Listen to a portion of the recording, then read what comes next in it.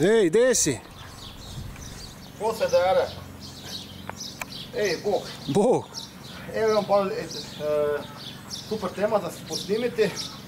Vidiš kako se napravi tu lijepo stranarsko mjesto. Bome, za puško mi trales, a? Pa ne, samo daleko moram tu malo pazit. A i kreveta sam sjedeo. Vidi ovo sad. Evo, to je krevet od Rudija.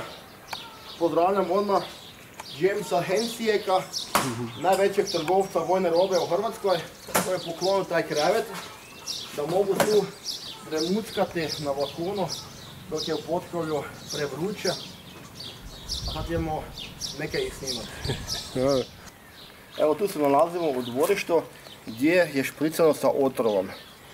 Ali ima biljke koje su otpornije na otrov, a to vam je tušt. On spada u 10 najčešćih biljaka svijeta i u, e, pada među 8 najgorih korova koje postoje. Je toliko otporan.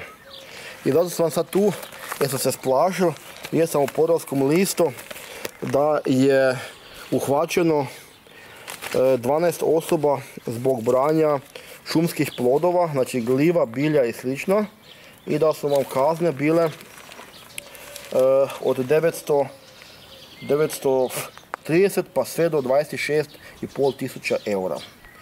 Znači, a ne smijete brati niti, pitome kest, niti ništ, pokudno ako ne smiješ šumu iti, onda tu ideš gdje ima isto e, nečega za pojeste. I tu onda dojdemo i zanimljivih podataka da ljudi preživljavaju od 32 eura mjesečno i za te ljude isto da snimamo kaj moraju jeste, da prešparaju novac ili ne umru u gladi u ovoj jako divljoj Hrvatskoj jer vidite kaj nam ona naša borba dala. Čovjek je isto bio branitelj, a preživljava od 30 i neke eura, kaj je sramota.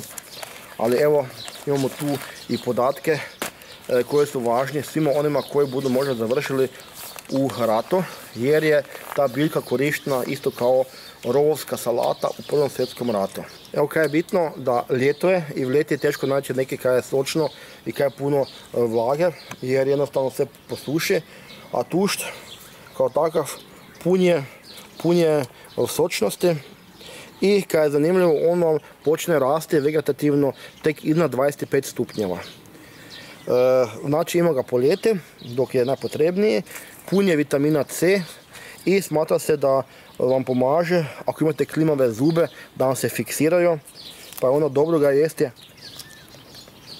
čim više.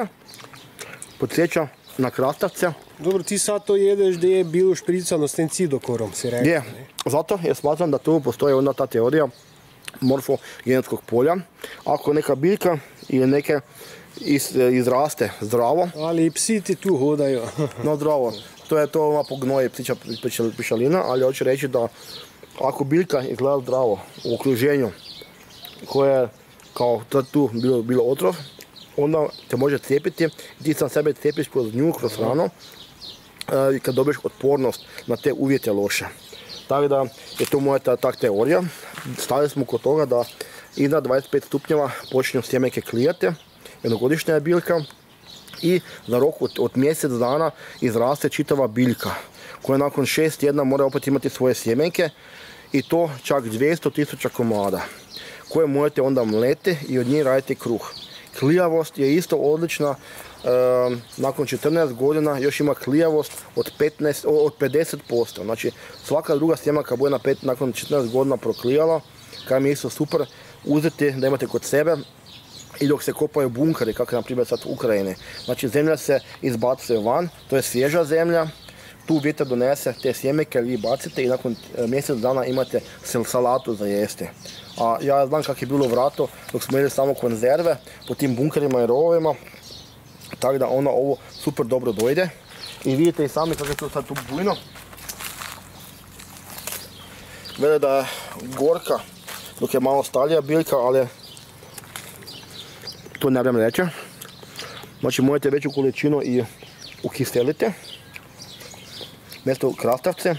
To se koriste i u onim salatama i grčkima. Isto se ostavlja unutra. Jednostavno to fantastično.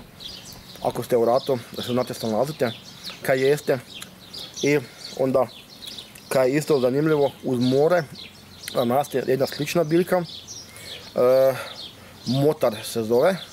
Znači u Šibeniku gdje sam isto bil, gdje u stijene kod, kod, kod luke udaraju valove. Tu je takva biljka, mesnata, bujna, koja isto je odlična za ukiseliti i jestiva je. Znači imate bilje gdje to jednostavno ne očekivate i niko vas ne bude kazniti da ste brali neke šumske plodove, eh, niti šumarija, ako to berete po zapuštenim prostorima i vrtovima. I sad evo, to je sad moj savjet koji je uvjetovan ovom kako se zove